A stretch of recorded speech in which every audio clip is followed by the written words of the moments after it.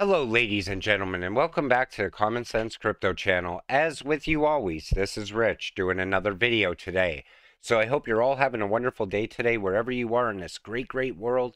We're going to talk a little bit about what's going on with the World Economic Forum. And then I'm going to talk a little bit about other world events, and I'm going to mention Ripple at the end. But I'm going to list this as an XRP video so all of you get the notifications. So, India embedded chips will roll out 2022 to 2023. The issuance of e passports using embedded chip and futuristic technology will be rolled out in 2022 to 2023 to enhance convenience for the citizens in their overseas travel. Take notice how it's to enhance convenience. They're going to follow this in other countries as well. And like I said, I'm never getting a chip. I don't care how much they want to push it. Davos Watch USA climate envoy John Kerry claims that the World Economic Forum globalists are the select group of human beings touched by something at some point in their lives that caused them to have a savior complex. He calls the experience extraterrestrial. Is he saying that globalists were touched by God? Are you kidding me? Look at their agenda. I believe they were touched by the devil, and their agenda is nothing but evil, pure evil. Breaking bankers and regulators at World Economic Forum Davos express concern about Bitcoin adoption and call for urgent regulation. Like I said before, if Bitcoin poses a threat to CBDCs, they will regulate it out. I still believe that Lightning Network is a Trojan horse.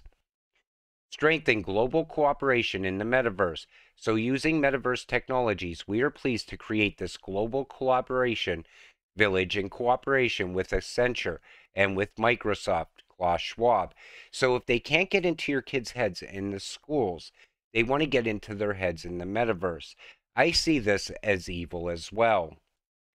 World Economic Forum declares a planetary and justice crisis. So now all of a sudden it's no longer a global crisis, it's a planetary crisis. It sounds so much better, but yet it's still to push their same agenda.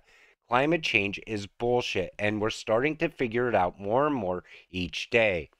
Sure, we know what they're really there for. Prostitutes gather in Davos for an annual meeting of global elites. So, the global elite tackling the world's greatest problems, including gender equality, at Davos Summit are fueling a surge in prostitutions in the Swiss resort town. Demand for sex work skyrockets each year at the meeting of world leaders and business tycoons who jet in from all around the world to rub shoulders with each other. Now, the girl they pictured here, I feel, is way too old for most of these globalist elites. According to Klaus Schwab in the World Economic Forum, the pedophilia epidemic sweeping the world is actually nature's gift to humanity. Is he kidding us? Whatever demons led adults to lust for kids is a satanic choice made by them to move from imagination to actual abuse. That is disgusting. And guess what?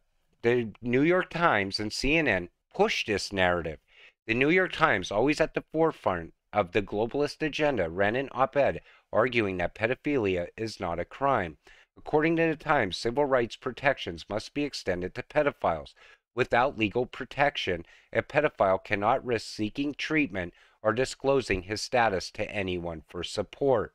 Not to be outdone, though, CNN countered with an article proclaiming that pedophiles are not monsters or social deviants living in the shadows. According to CNN, it's high time for society to update its image of pedophiles. And these people think that they were touched by God. They were touched by the devil. Bill Gates says injecting our food supply with mRNA vaccine will stop the vaccine hesitancy. And again, people will call you a conspiracy theorist for pointing this out. But it's no longer conspiracy theory when these people are talking about it openly. And they're pushing it into our food supply now. I mean, come on. There, this has to be stopped before it's too late. New Moderna marketing new mRNA vax for RSV. Based on 64 people, they're deeming it a wild success. I will not take this vaccine either. And I no longer trust the flu vaccine because they push it so hard, it makes you not want to take it. You know, I watched New Year's Rockin' Eve this year, and this will be the last year of it for me. First off, they had the president on there with his wife pushing the vax. On top of that, it's no longer New Year's Rockin' Eve. It should be New Year's Woke Eve, in my opinion. That has not been the same since Dick Clark has died, and it's a shame. In other words, we're World Economic Forum gonna cyber attack the world. The World Economic Forum is predicting catastrophic global cyber attacks. And you know what'll happen here? a cyber attack will happen and they will either blame Russia or Iran or China. It happens every single time. Like I said before, the World Economic Forum is behind all of what we see happening in the world. These are very evil people. Our faith leaders know that this crisis is much more than physical. We have a deeply wounded spirit as a people, clown at the World Economic Forum, lobbying for a one world religion. Like I said before, I'm not a religious person. I believe in God, though. And I believe people should have their choice of whatever religion they want to choose. And I said it before that this all comes down to one thing them controlling every single aspect of your life. And it's based on hypocrisy. You know, somebody once said to me in a message that my channel has been taken over by God in the comments section. Well, let me tell you something. God is always welcome in the comments section. I don't censor the comments either. If somebody says something bad about a video I made, I leave it there so other people can read it. I'm not about censorship in any way. But uh, this has to stop. I mean, this whole World Economic Forum agenda is uh, the most evil thing I have ever seen in my life. Just in, allies provide heavier weapons to Ukraine, says NATO Chief Stoltenberg at Klaus Schwab's World Economic Forum. Of course, they want he- to provide heavier weapons so they can keep this war going, so they can keep profiting off of it. We've seen what happened with FTX.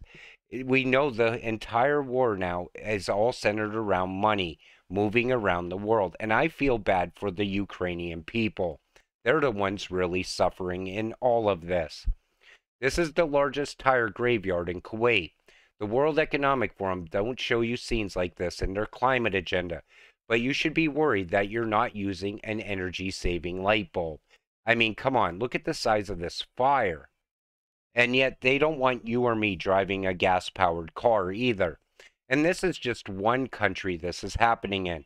China pollutes the planet every single day.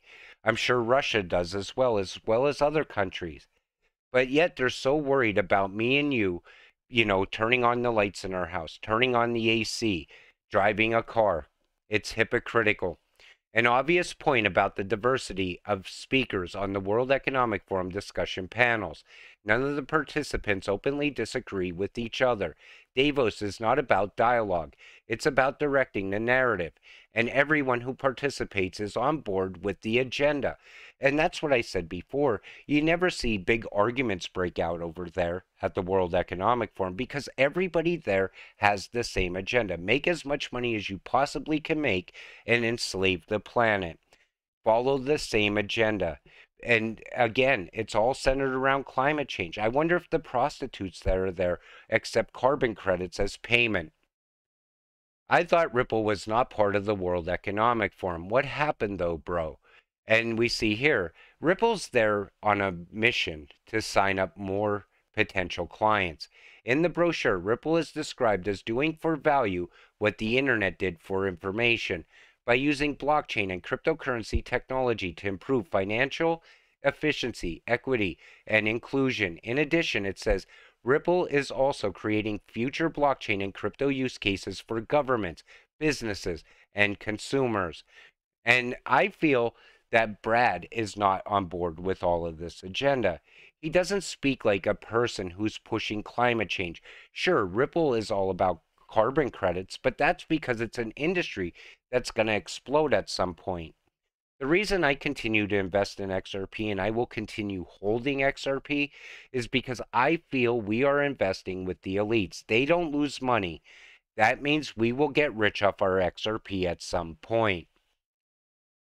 Davos, why World Economic Forum focus on crypto regulations or spectacularly fail?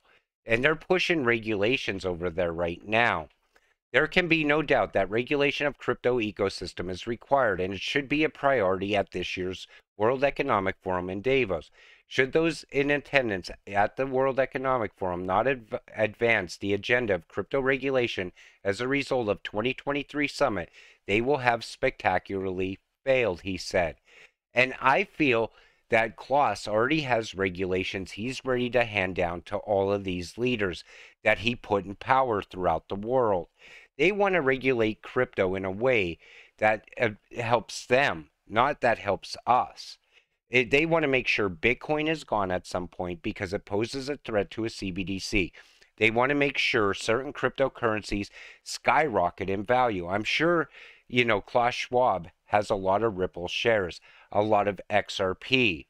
I'm sure the other elites do as well because Ripple is the one company that is tied into the entire banking system. At some point, XRP is going to move all the money. That's why I continue holding it.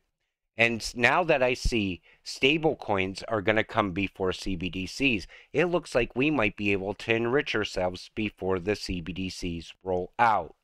That's why I'm always telling you, you need to enrich yourself while you still can. In this video, I feel I covered a lot of things. And in this video, I wanted to point out a lot that on the ways that the World Economic Forum thinks. They think that this they were touched by God to save all of us. But I believe any company or any organization that wants to enslave all the people in the world and depopulate us, they're not touched by God. They're touched by the devil. With that said, I'm going to wrap up this video. I want to thank you all for watching. I appreciate all of you watching my videos.